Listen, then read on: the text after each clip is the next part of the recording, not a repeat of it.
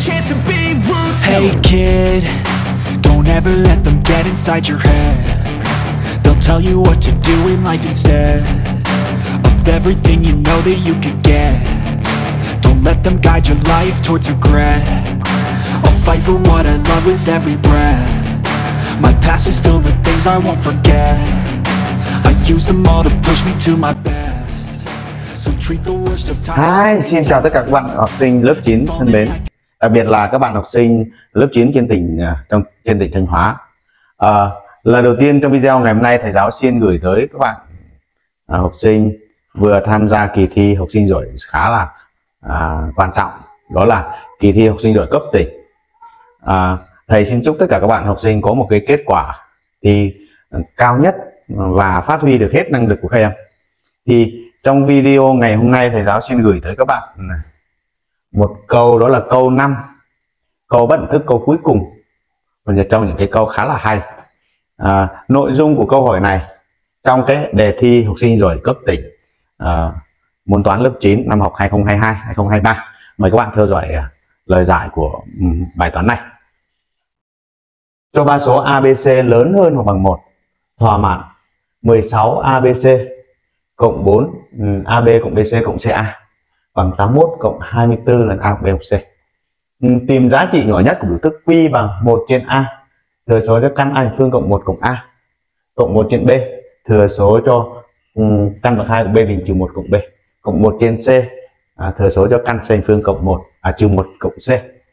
Uhm, thì à, đây là một trong những cái bài mà được đánh giá là khá là khó ừ, rất rất là khó nói chung là bất thức là khó rồi nhưng những cái bài như thế này thì chúng ta cảm thấy cái cái điều kiện này nhìn thấy là khá là cồng kềnh phức tạp. Đấy. Vậy thì làm sao để chúng ta có cái hướng? Cái hướng chắc chắn là chúng ta phải xử lý số liệu xử lý các cái điều kiện rồi. Thì um, um, sau đây thầy giáo xin gửi tới các bạn một cái lời giải chúng ta sẽ sử dụng phương pháp đổi biến. Thì đầu tiên là chúng ta sẽ xử lý cái điều kiện này không thể để như thế này để như thế này thì nó khá là cồng kềnh em thì đầu tiên là chúng ta phải xử lý xử lý cái điều kiện. Thì theo đề, đề bài ra thì ta có là gì? 16 ABC cộng 4 thừa số cho AB cộng BC cộng CA bằng 81 cộng 24 lần A cộng B cộng C. Thì có một số học sinh của thầy là các bạn ấy biến đổi theo P à, theo cái ừ, cái cái phương pháp biến đổi PQR tuy nhiên là thầy giáo sẽ giải ừ, trong bài này thầy giáo sẽ giải theo phương pháp là đổi biến. Thì đầu tiên chúng ta sẽ chia cả hai vế của cái này, này cho ABC Đấy, ta chia cả hai vế của cái điều kiện này này của cái điều kiện sao này cho ABC lớn hơn không? Cho A nhân B nhân C lớn hơn không? Đấy rõ ràng là ABC lớn bằng một vậy ABC lớn hơn không rồi? Thì ta sẽ được ta được một cái điều kiện mới như sau này 16 16 cộng với 4 lần AB cộng BC cộng CA trên ABC bằng. 81 trên ABC à, cộng với 24 lần A cộng B cộng C trên ABC thì tiếp tục thu gọn ta sẽ được là 16 tương đương với 16 cộng 4 à, cái này là bằng 1 phần A cộng 1 phần B cộng 1 phần C. Và bằng 81 trên ABC ừ, cộng với 24 thừa số cho 1 phần AB cộng 1 phần BC cộng 1 phần CA đấy. Thì đến đây chúng ta sẽ dồn biến về cái dạng là dồn về một biến là một phần A một phần B một phần C đấy bằng cách là chúng ta sẽ đặt đặt một phần A cộng một phần B cộng một phần C bằng x Đấy, một phần A à đây xin, xin lỗi xin lỗi nhé đặt một phần A là bằng x đặt một phần A bằng x một phần B bằng y và một phần C bằng z đấy thì ta sẽ suy ra được cái biểu thức đơn giản hơn đó là 16 này. Cộng 4 lần x y z. X cộng y cộng z. Bằng 81 x y z. À, cộng với 24 ừ, x y cộng y z cộng z x. Đấy. Thì bây giờ chúng ta sẽ sử, dụng các bất đẳng thức uh, cơ bản để chúng ta dồn về biến a x cộng y cộng z này. Đấy. Thì đầu tiên chúng ta sẽ áp dụng cái bất đẳng thức này. Áp dụng cái bất đẳng thức. Bất thức cơ bản, bất thức cosi nhé. Là gì đây? Áp dụng bất đẳng thức ờ,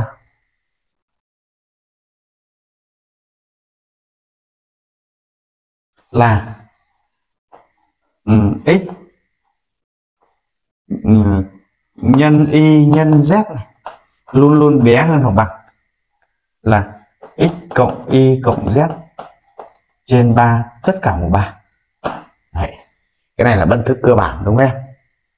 Và và một cái bất đẳng thức nữa đó là ờ, uh, xy cộng iz cộng zx luôn luôn bé hơn hoặc bằng là x cộng y cộng z tất cả bình phương.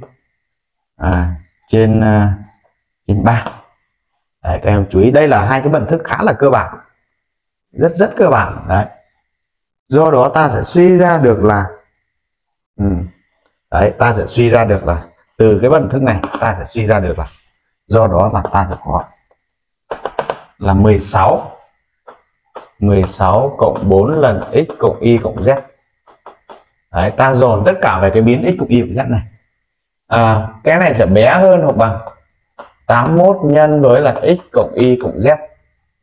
81 nhân với là x cộng y cộng z.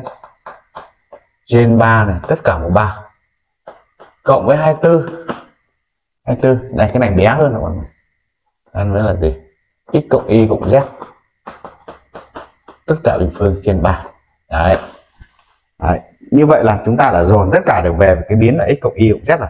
Để đơn giản hóa cái vấn đề đi thì thầy thầy giáo có thể đặt tiếp là x cộng y cộng z bằng t. Thì ta sẽ suy ra được là 16 này, cộng 4t này, sẽ bé hơn hoặc bằng là 81 nhân với là t trên 3 tất cả mũ 3 cộng 24 nhân với t bình trên 3 đấy. Như vậy là rất là đơn giản rồi. Ta sẽ suy ra được là 16 cộng 4t sẽ bé hơn hoặc bằng. 81 phần 27 là 3t của 3 cộng 8t bình phương. Đấy. Bây giờ ta sẽ giải cái bất à, phương trình này thôi. Đấy. Tương đương với, chuyển hết về một vế đi. 3t bình mũ 3 này cộng 8t bình phương. Trừ 4t trừ 4t trừ đi 16 lớn hơn hoặc bằng 0 16 lớn hơn hoặc bằng 0 à? Đấy.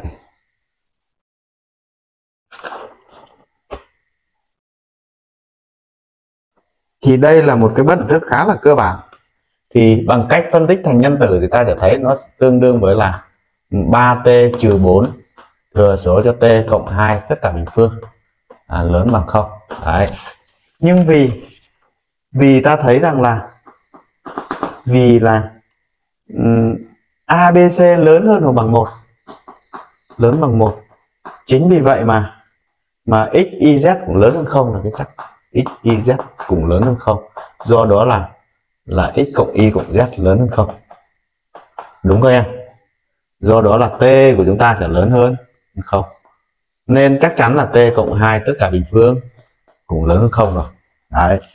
Như vậy là t cộng 2 tất cả bình phương lớn bằng không rồi thì bắt buộc ta phải suy ra là 3t cộng 4 à 3t trừ 4 cũng lớn bằng không. Do đó là ta sẽ suy ra được là t lớn hơn hoặc bằng 4 phần 3 đấy, đây là một cái rất là quan trọng. Thầy giáo đặt đây là hai sao. Đấy.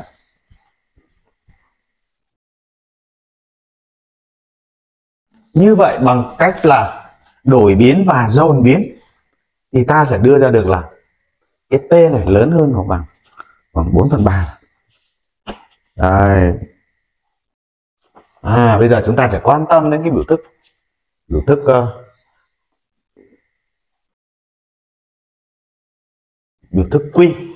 Đấy. thì ta là có bây giờ chúng ta sẽ xét đến quy. Thì ta sẽ có quy bằng a biểu thức này. 1 trên a căn a bình trừ 1 cộng a. Thì bằng cách liên hợp cái biểu thức này này liên hợp nhân liên hợp thì quy sẽ bằng là à, nhân cả tử với căn a bình trừ một trừ đi a. Căn a bình trừ một trừ a. Trên a nhân với cái này. Này liên hợp này là a bình trừ một trừ a bình. Như vậy nhân với âm một. Đấy.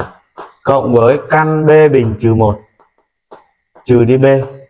À, trên b nhân với âm một cộng căn c bình trừ một trừ c. Trên c nhân với âm một. Do đó là quy phải bằng. Chúng ta có thể đổi dấu cái này âm một bằng a trừ đi căn của a bình trừ một trên a cộng với b trừ một b trừ đi căn b bình trừ một. Ừ, trên b đổi dấu cả từ bằng mẫu nhé. Đây là âm một ở dưới mẫu mà cộng với c trừ đi căn. C bình trừ một trên c. Tiếp tục chia thì ta sẽ suy ra được q sẽ bằng. Cái này chia là một này. Trừ đi căn của cái này trên cái này thì chúng ta có thể viết là căn của a bình trừ một trên a bình. Đấy a bình trừ một trên a bình. Tiếp tục. Cộng với một trừ đi căn. À, b bình trừ một trên b bình cộng một trừ đi căn. C bình trừ một trên c bình phương. Rồi, chúng ta sẽ dần dần chúng ta sẽ đưa về một phần a, một phần b, một phần c đấy. Tức là ta sẽ đưa về được cái ẩn chúng ta đang đặt. Một cộng một cộng một là ba. Trừ đi. Ừ. căn của một trừ một phần a bình cộng với căn của một trừ một phần b bình cộng với căn của một trừ một phần c bình. Nhưng một phần a một b ta đặt là x y z rồi. Như vậy q sẽ bằng 3 trừ đi um, căn của một trừ x bình cộng căn của một trừ y bình cộng căn của một trừ z bình. Đấy. Đấy như vậy là q của chúng ta bằng cái này. Thế thì để quy lớn hơn hoặc bằng một số nào đó thì cái biểu thức này này cái biểu thức này phải bé hơn hoặc bằng bé hơn hoặc bằng một giá trị nào đó.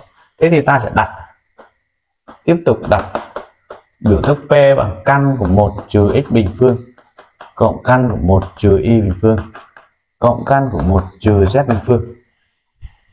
Đấy thì ta sẽ đi tìm giá trị nhỏ ờ, lớn nhất của anh này lớn nhất của anh này rồi đó sẽ suy ra được giá trị nhỏ nhất của quy.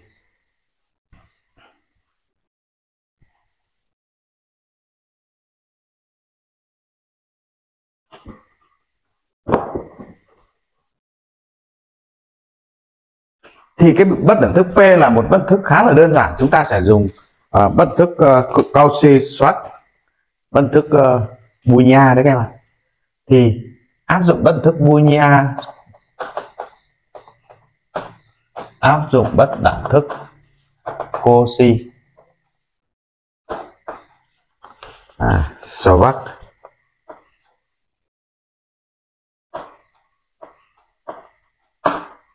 cái này là bất thức Boolean Đấy. thì ta sẽ có là P bình phương.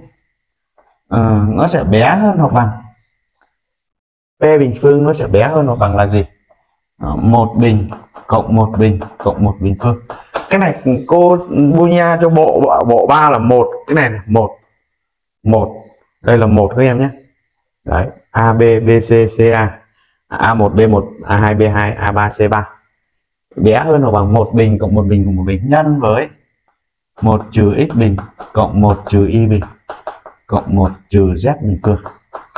Thì dễ dàng cái này tính ra được là ba thừa số cho. Ừ. 3 trừ đi là x bình cộng y bình cộng z bình. Đấy.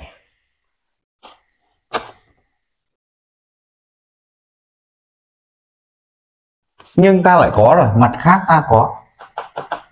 Này chúng ta đã có là x bình cộng y bình cộng z bình thì luôn luôn lớn hơn hoặc bằng này x cộng y cộng z.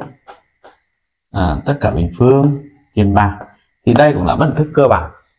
Mà chúng ta thấy rằng là x cộng y cộng z, t lớn hơn bằng ờ, ở 4 phần 3 đúng không em nhỉ? Mà này, t lớn bằng 4 phần 3 tức là x cộng y cộng z lớn bằng 4 phần 3 đấy em ạ. Như vậy ta sẽ suy ra được là x bình cộng y bình cộng z bình là lớn hơn hoặc bằng. Cái này thay vào đây. Đấy 4 phần 3 bình phương trên 3 thì cái này là bằng 16 phần 27 đấy. do đó là P bình phương. Đấy do đó là P bình phương của chúng ta sẽ bé hơn hoặc bằng đấy. cái này trừ đi mà. Trừ đủ chiều em nhé. 3 này. Nhân với 3 trừ đi 16 phần 27 thì cái này là bằng 3 này nhân với 81 trừ đi 16 là 81 trừ 16 là 65 65 phần 27 như vậy cái này bằng 65 phần 9 do đó là P sẽ bé hơn hoặc bằng căn 65 phần 9 như vậy là bằng căn 65 phần 3 Đấy. thay lại cái chỗ này này. Cái chỗ 3 sao này. Thay lại biểu thức quy thôi như vậy P bé hơn hoặc bằng căn 65 phần 3 đấy thay vào chỗ 3 sao đấy. Như vậy là thì ta sẽ suy ra được là Q sẽ lớn hơn hoặc bằng. Ừ, 3 trừ đi căn 65 phần 3 và ta tính được là bằng 9 trừ đi căn 65 phần 3 Ok rồi như vậy là chúng ta tìm tìm được giá trị nhỏ nhất rồi. Như vậy là suy ra là quy min bằng 9 trừ đi căn 65 phần phần 3 đấy. Và nó đạt được khi nào? Dấu bằng xảy ra khi nào đấy các em phải tìm ra nhé. Bất đẳng thức mà không tìm được dấu bằng xảy ra là không không ổn đâu nha. Nhiều khi là chúng ta tìm ra kết quả mà mà không tìm ra cái điểm rơi thì chưa chắc cái kết quả này chính xác.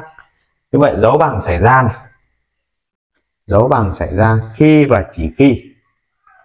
Chúng ta sẽ sẽ xem lại xem nó sẽ Ờ, áp dụng các bất thức ở những vị trí nào thì ta sẽ biết được. Đấy, dấu bằng xảy ra này. Chúng ta cosi cho những số nào thì số đó nó sẽ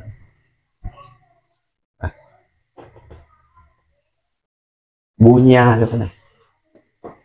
Đấy, dấu bằng xảy ra. Chúng ta sẽ tìm ra được dấu bằng xảy ra khi a bằng b bằng c bằng 9 phần 4 ừ. cái này là đơn giản nhé các em phải tìm ra. Dấu bằng xảy ra khi a bằng b bằng c bằng 9 phần 4 đấy. đấy. Ok như vậy là thầy giáo đã hoàn thành xong à, một cái đoạn video về cái câu 5 trong cái bài thi học sinh giỏi lớp 9 môn toán cấp tỉnh tỉnh Thanh Hóa năm học 22 2023 tuy nhiên đây chưa chắc là là một trong cái đáp án hay nhất. Đấy còn nhiều cái đáp án khác nữa có thể là hay hơn. Đấy hy vọng rằng các bạn theo dõi video mà có đáp án hay thì các bạn có thể chia sẻ để thầy giáo ừ, và các bạn cùng học hỏi để chúng ta tiến bộ hơn các em nhé. Ừ, nếu các em thấy video hay thì rất mong rằng các em hãy đăng ký kênh ừ, hãy chia sẻ và à, để ủng hộ thầy. À, xin chào và hẹn gặp lại các bạn trong video tiếp theo.